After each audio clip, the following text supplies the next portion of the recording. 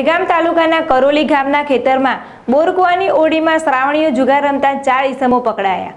પોલીસે આ જુગારીયાઓને પાસેથી રૂપિયા એકાવન હજાર છસો પચાસનો મુદ્દામાલ કબજે કર્યો.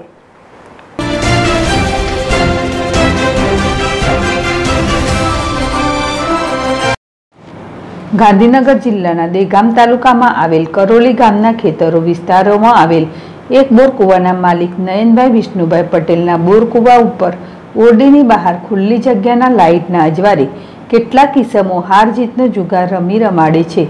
તેવી હકીકત મળતા પોલીસે ગઈકાલે રાત્રે ટોરું વળીને પૈસા પાનાથી હાર જીતનો જુગાર રમતા હતા. ત્યારે પોલીસે અચાનક આ બોરકુવા ઉપર રેડ કરતા ચાર ઇસમોને પોલીસ જુગાર રમતા પકડી પાડ્યા છે.